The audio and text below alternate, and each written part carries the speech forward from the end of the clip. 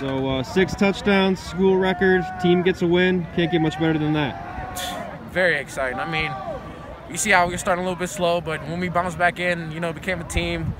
We uh, put the we put um, the pressure on them. We end up getting a win, and it's, it's, it's good. We can go into this playoff week happy, excited, and motivated. Okay. And what were you able to do tonight that you weren't able to do in weeks prior? I mean, come together as a team. Our defense did better, stopping the passes, the run.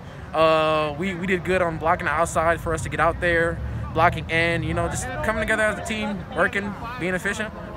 And I know individually, you know, setting a school record for career rushing yards is a huge deal, especially at a school like this. So what does that mean to you? I mean, first, let me start with, it's not only me, you know. Yeah. I mean, we got a lot of players out there blocking. We got slots, we got middle linebacker. I mean, my fault. We got linemen, we got slots, wide receivers. They they all helped me get it, and I'm, I'm really happy. It was a team thing. Okay. Did you know heading into the game that you were close? Uh, a little bit. I didn't really focus that much on it because the coach said focus on the win, and if you get the school record, you get the school record, you know. Okay.